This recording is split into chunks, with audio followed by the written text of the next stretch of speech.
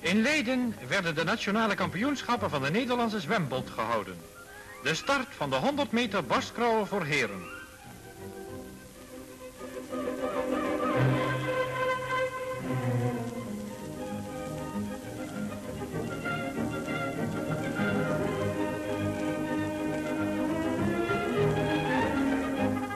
Merkenstein van zwemclub Haarlem werd winnaar. 200 meter schoolslag voor dames. De kampioene van 1942, Willy Haverslag, lag op 100 meter nog voor. Daarna kwam de 15-jarige Nel van Vliet naar voren en won met gering verschil.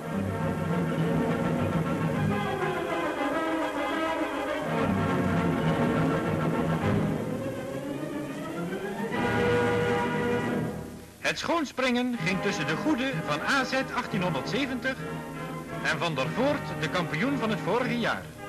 De goede veroverde dit jaar de eretitel.